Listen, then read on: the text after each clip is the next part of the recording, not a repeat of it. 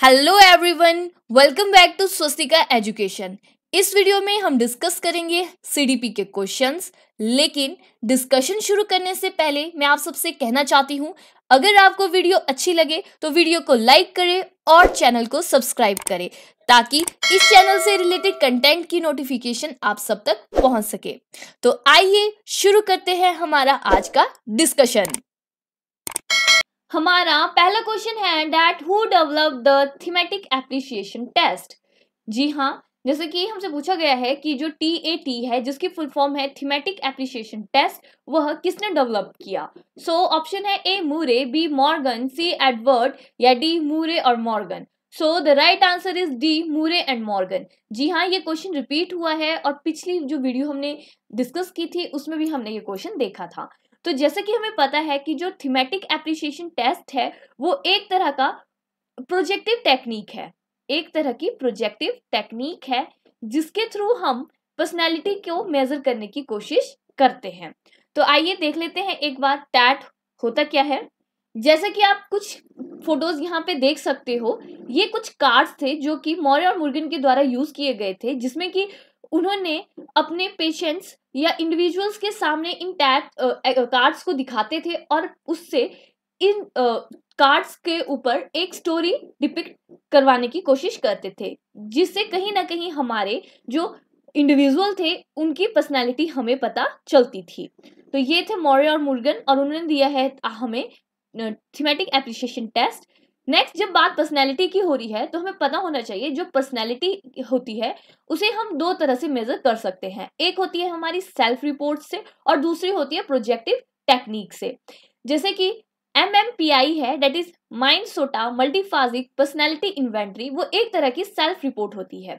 वहीं पे आपके मैयर्स ब्रिग्स टाइप इंडिकेटर हैं, ये भी एक तरह की सेल्फ रिपोर्ट है, जो मेजर करती है हमारी पर्सनैलिटी के ट्रेड्स को।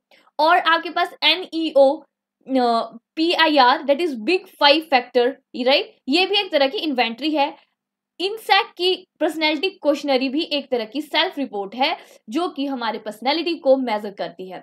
सेल्फ रिपोर्ट से मतलब ये है कि आपको क्वेश्चन दे दिए जाएँगे और आपको वहाँ पे क्वेश्चंस पे आइदर ट्रू एंड फॉल या टिक और क्रॉस करके बताना है। रिपोर्ट देनी है कि आप जो क्वेश्चन है उनके बारे में क्या सोचते हो? जबकि दूसरी तरफ़ हमारी आती है प्रोजेक्टिव टेक्निक्स प्रोजेक्टिव टेक्निक्स में जनरली क्या होगा? जो एग्जामिनर है या साइकोलॉजिस्ट है, वो हमें कोई पिक्चर्स दिखाता है और उन पिक्चर्स को देख के हमने उन पिक्चर से रिलेटेड जो भी चीज़ हमारी माइंड में चल रही होती है, वो हमें वहाँ पे बतानी होती है।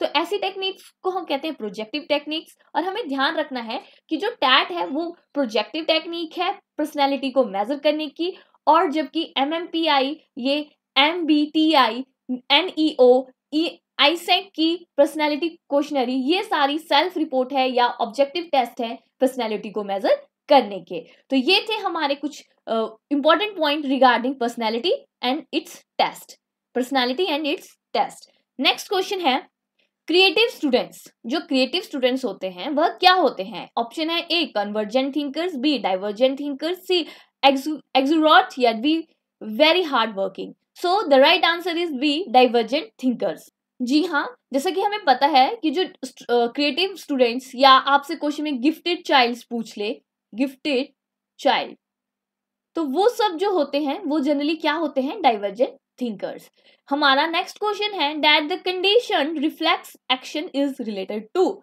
इस पे आप दो वर्ड्स देखोगे, एक है कंडीशन और एक है रिफ्लेक्स एक्शन ये जो वर्ड है, ये किसके साथ रिलेट करता है? ऑप्शन है A Skinner B Kohler C Pavlov और डी थॉन्डाइक जैसे कि हमें पता है कि जो सारे गिवन साइकोलॉजिस्ट यहाँ पे दिए गए हैं, ये सभी जो है, कहीं ना कहीं किसी ना किसी लर्निंग थ्योरी के साथ एसोसिएटेड हैं. इन्होंने किसी ना किसी ने कोई ना कोई लर्निंग थ्योरी हमें दी है. तो इसमें पूछा हुआ है जो कंडीशन रिफ्लेक्स एक्शन है, इनमें से कौन जो है उसके साथ रिलेटेड है। So the right answer is C Pavlov जी हाँ जो हमारे पैबलॉब हैं, वो कंडीशन रिफ्लेक्स एक्शन के साथ रिलेट करते हैं। तो इस वर्ड को समझने से पहले हम ये देखेंगे कि रिफ्लेक्स एक्शन होता क्या है। तो जैसे कि हमें पता है और आप इस पिक्चर में देख सकते हो कि रिफ्लेक्स एक्शन होते क्या हैं। ऐसे एक्शन जिन पे हमारा कंट्रोल नहीं होता। फॉर एग्ज़ाम्पल अगर आप कोई गर्म चीज़ को टच कर लेते हो तो जल्दी से विदाउट सोचे आपके हाथ जो है पीछे हट जाता है। तो ऐसे एक्शन जिनपे हम मतलब हम एकदम किसी चीज़ को, गर्म चीज़ को टच करते हैं और एकदम विदाउट सोचे हमारा हाथ पीछे हटता है या हमारी आईज ब्लिंक कर रही हैं राइट तो ये सारे किस चीज़ के एग्ज़ाम्पल हैं? एक रिफ्लेक्स एक्शंस के एग्ज़ाम्पल है। तो क्वेश्चन में ये पूछा गया था कि जो कंडीशन रिफ्लेक्स एक्शन के साथ कौन जुड़ा है? तो हमने कहा पैबलॉब तो जैसे कि आप देख सकते हो कि जो पैबलॉब थे, उन्होंने क्या किया?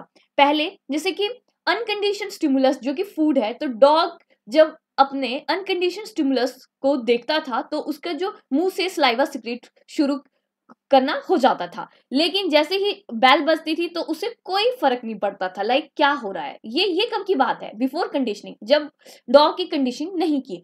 तो धीरे धीरे ड्यूरिंग कंडीशनिंग क्या हुआ? जो फ़ूड प्लस बैल को इकट्ठे डॉग के सामने पेश किया गया तो देखा गया कि जो डॉग था, जब वो खाने को देख के स्लाइवर सिक्रेट करता था, वो एक तरह का क्या आंसर रिएक्शन था? रिफ्लेक्स एक्शन राइट तो क्या नाम जो है, जो बॉल और इस सॉरी फ़ूड और बैल को एसोसिएट किया गया, तब भी डॉग के मुँह से क्या आ रहा था? स्लाइव आ रहा था। लेकिन कुछ आफ्टर कंडीशनिंग जब इसकी काफ़ी दिनों तक, महीनों तक कंडीशनिंग की गई डॉग की तो देखा गया कि जब सिंगल एक बैल को जब हम विसल करते थे तो डॉग जो है ऑटोमेटिकली अपने मुँह से स्लाइवा स्क्रीट कर देता था। और इस तरह के रिस्पॉन्स को हम क्या कहते हैं? Condition reflex action condition reflex action reflex action तो हो रहा था, लेकिन यहाँ पे किसको? फ़ूड को देख के नहीं हो रहा था। किसको दे, किसकी आवाज़ सुनकर ही उसके मुँह से स्लाइवा स्क्रीट होना शुरू हो गया था? डेट इज़ विसल राइट तो आपको ध्यान रखना है, जो कंडीशन रिफ्लेक्स एक्शन टर्म है, वो कंडीशन रिफ्लेक्स एक्शन राइट वो किसके साथ एसोसिएट करती है? That associated with Ivan Pav और इवान पैवलॉब ने हमें दी है क्लासिकल कंडीशनिंग थ्योरी इन 1897 और इवान पैवलॉब जो थे हमारे बिलोंग करते थे रशिया से। कहाँ से बिलोंग करते थे? रशिया से। तो ये थे कुछ important point regarding Ivan Pavlov और उनकी क्लासिकल कंडीशनिंग या आप कह सकते हो एक टर्म है कंडीशन रिफ्लेक्स एक्शन किसके साथ एसोसिएट करती है? इवान पैवलॉब ये कुछ इंपॉर्टेंट बातें आपको इनकी रिगार्डिंग याद रखनी है। हमारा नेक्स्ट क्वेश्चन है Adolescence is a period of great stern, strain, storm and strife. Who said this? जैसा कि हमने पिछले वीडियो में भी इस एट्रीब्यूट को काफ़ी बार डिस्कस किया है बट ऑप्शन देख लेते हैं। A Hurlock B Stanley Hall B जेशल या D Woodward so the right answer is Stanley Hall जी हाँ जैसे कि हमने इस एट्रीब्यूट को पिछली अपनी वीडियोस में भी डिस्कस किया है कि हमें कीवर्ड्स याद रखने हैं that is strain stress and storm जो हॉल में जनरली हम हॉल में बैठे हैं और क्या आ गया वहाँ पे? स्ट्रॉम आ गया, जिसकी वजह से क्या हो गया? स्ट्रेस हो गया. तो जो स्टेनले हॉल थे, उनका मानना था कि जो एडनोसेंस पीरियड होता है, वो है एक बहुत ग्रेट स्ट्रेन और स्ट्रेस और स्ट्रॉम का क्या रहता है? हमारा पीरियड रहता है. So the right answer is Stanley Hall right हमारा नेक्स्ट क्वेश्चन है who was the founder of psycho analytic theory of motivation जो psycho analytic theory of motivation है, उसके फाउंडर कौन है? ऑप्शन है A Hull B M C Dougall B Freud या D Maslow so the right answer is Freud जी हाँ जैसे कि हमें पता है, जो फ्रूड है, वो फाउंडर ऑफ़ साइनो साइको एनालिसिस है। तो उन्हीं ने हमें psycho analytic theory of motivation दी है। हमारी पर्सनैलिटी के तीन स्ट्रक्चर्स होते हैं। That is id ego and super ego ये जो कंसेप्ट है इड ईगो सुपर ईगो ये भी हमें किसने दिया है? The right answer is Sigmund Freud right और यहीं पे इन्होंने बताया है, जो इड होता है, वो हमारा रिज़र्व वायर होता है डिज़ायर का। That id is the reservoir of desires और ये जो इड कंपोनेंट होता है हमारा, वो मेनली कहाँ पे लाए करता है? इन द अनकॉन्शियस लेवल जो हमारा अनकॉन्शियस माइंड का मैक्सिमम पार्ट होता है, वो इड द्वारा ऑक्यूपाई होता है। और इड में जो हमारी बेसिक इम्पल्सिस रहती हैं, जैसे sex aggregation aggression seek seeking immediate gratification है ना, दूसरों को खुश करने के लिए और ये कहाँ पे ऑपरेट करती है? अनकॉन्शियस लेवल पे। अकॉर्डिंग टू फ्रूड फ्रूड ने हमें दो टर्म्स भी दी हैं that is Eros and Thanatos है ना? तो उनके अकॉर्डिंग जो एरोस है, वो एक लाइफ इंस्टिंक्ट है। इस इंस्टिंक्ट के ज़रिए कोई भी जो इंडिविजुअल है, वो अपना सर्वाइवल को पॉसिबल कर करवा पाता है। और इसी से हम सोशल कॉर्पोरेशन करते हैं प्रोक्रिएशन करते हैं रिप्रोडक्शन करते हैं। ये सारा जो हमारा प्रोसीजर चलता है, ये चलता है हमारा लाइफ इंस्टिंक्ट से। जबकि जो हमारा थेनाटॉस है, जिसे हम डेथ इंस्टिंक्ट कहते हैं, वो बेसिकली बेसिक कॉज होता है अग्रेशन का, हमारे रिस्क टेकिंग बिहेवियर के लिए और रिलीविंग ट्रॉमा के लिए राइट right? तो ये कहीं ना कहीं हमारे को रिलेट करती है that the psycho analytic theory of motivation से।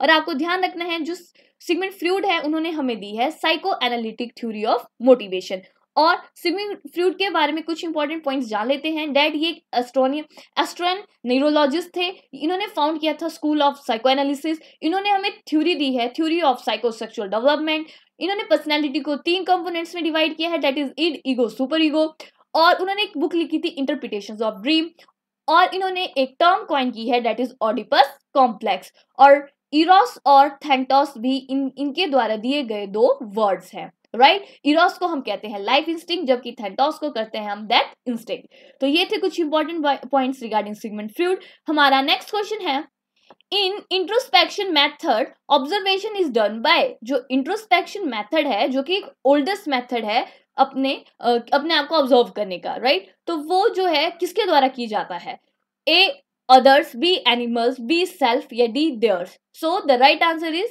self जी हाँ जो इंट्रोस्पेक्शन मेथड होता है, वो सेल्फ ऑब्जर्वेशन का सबसे ओल्डेस्ट मेथड है। हमारा नेक्स्ट क्वेश्चन है दैट द कोहलर डेवलप्ड जो कोहलर थे, उन्होंने इनमें से क्या डेवलप किया था? A S R bond theory B insight theory C field theory या D condition theory so the right answer is B insight theory जी हाँ जैसा कि हमें पता है कि वुल्फ गैंग कोहलर ने हमें दी थी insight theory of learning right और इनसाइड थ्योरी ऑफ़ लर्निंग में उन्होंने एक्सपेरिमेंट किया था चिपेंजी पे, जिसका नाम था सुल्तान। और आप उसकी पिक्चर भी देख सकते हैं।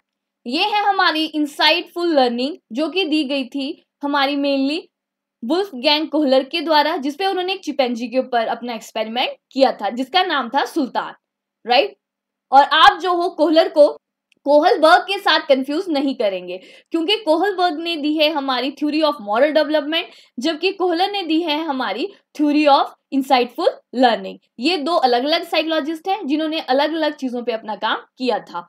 हमारा नेक्स्ट क्वेश्चन है लेकिन उससे पहले मैं आप सबसे कहना चाहूँगी, अगर आपको वीडियो अच्छा लगे तो वीडियो को लाइक करें और चैनल को सब्सक्राइब करें हमारा नेक्स्ट क्वेश्चन है that according to Thomson and Lipsitt in normal child language development is up to according to Thomson और लिपसिट जो नॉर्मल बच्चा होता है, उसकी लैंग्वेज डेवलपमेंट कितनी तक हो जाती है राइट right? ऑप्शन है 1900 words B 2100 words C 1800 words या D 1600 words so the right answer is that is 2100 words जी हाँ 2100 वर्ड्स जो है हमारा इस क्वेश्चन का राइट right आंसर है.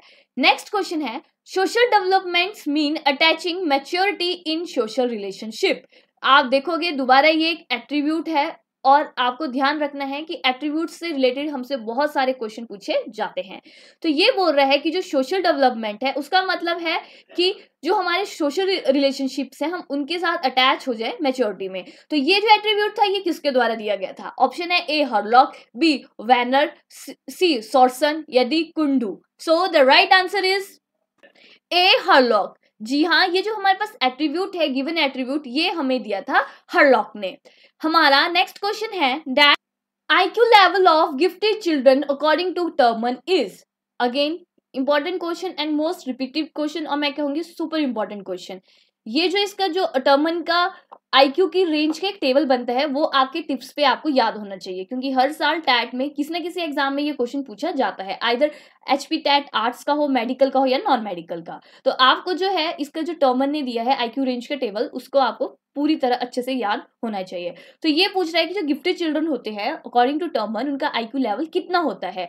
ऑप्शन है IQ is above than 120 IQ is above than 100 IQ is above than 140 या IQ is above than 180 so the right answer is IQ is above than 140 right जो जिन sorry uh, 140 तो superior हो जाते हैं इसका ऑप्शन है A that is IQ above than 120 ऐसे बच्चे जिनका आईक्यू लेवल 120 से ज़्यादा हो, उन्हें हम कंसीडर करते हैं as a gifted children so the right answer is I Q is above 120 आइए टर्मन का एक बार जो आई क्यू लेवल की रेंज है, उसको देख लेते हैं।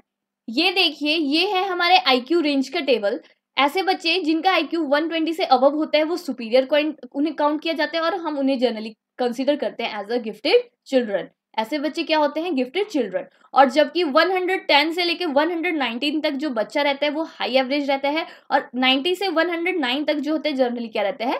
एवरेज चाइल्ड रहता है। तो ये जो आपका टेबल है, ये बहुत इंपॉर्टेंट है और हमें पता है कि जो टर्म थी ना I Q that was coin by William Stern that it is coin by the William Stern आपको कंफ्यूज नहीं होना है आई क्यू टेस्ट और आई क्यू टर्म को किसने क्वाइन किया था? आई क्यू टेस्ट हमें दिया है एल्फ्रेड एल्फ्रेड बिनेट ने और जबकि जो टर्म क्वाइन की गई है हमारी, वो की है विलियम स्टर्न ने। हमारा नेक्स्ट क्वेश्चन है that in severe hearing loss hearing power is lost by अगर किसी व्यक्ति का जो है कान में सुनने की जो क्षमता है, वो खत्म हो जाती है या सिवियरली डैमेज हो जाती है तो हमें कितने हेयरिंग पावर जो है हमारे लॉस्ट होते हैं? किस रेंज के बीच में?